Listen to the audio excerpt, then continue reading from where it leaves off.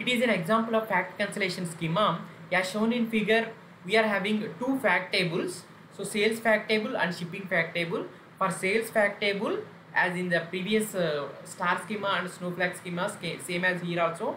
For a sales fact table, so the, these are the dimension tables: time, item, branch, location. Uh, these four are the dimension tables. So and uh, uh, same as uh, in uh, in the previous schemas, we, here also primary keys for each and every dimension table. So and uh, those primary keys uh, uh, acted as foreign keys in the sales fact table.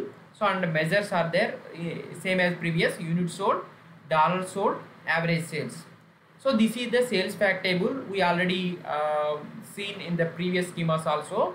But here the other fact table in fact constellation schema we are having uh, two or more fact tables here shipping fact table is there. So like that we are having several fact tables. Two or more fact tables.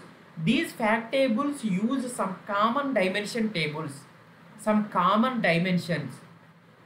Here you, in the figure you can observe clearly sales fact table and shipping fact table. Both are using item dimension table.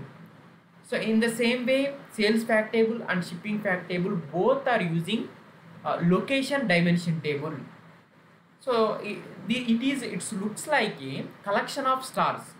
Sales fact table that is surrounded by some dimension tables. It's look like a star. And uh, shipping fact table surrounded by some dimension tables. It also looks like a star. This collection of stars is nothing but the fact constellation schema galaxy schema.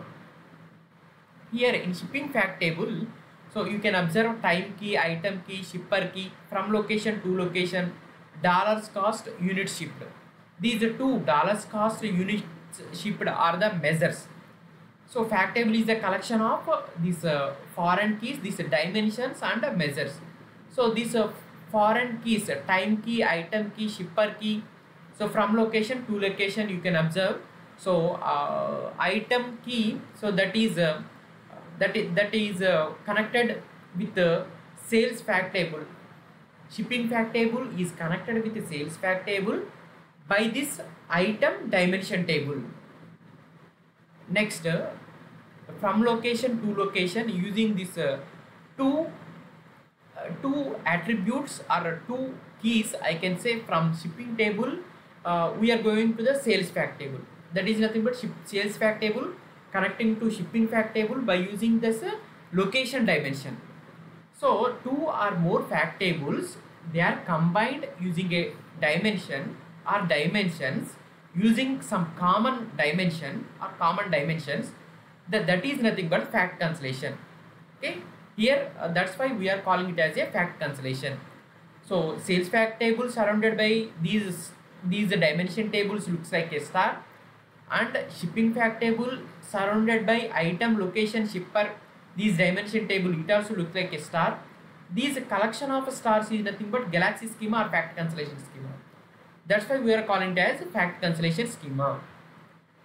Okay now we will see how we will write uh, uh, code in a dmql uh, for these uh, three schemas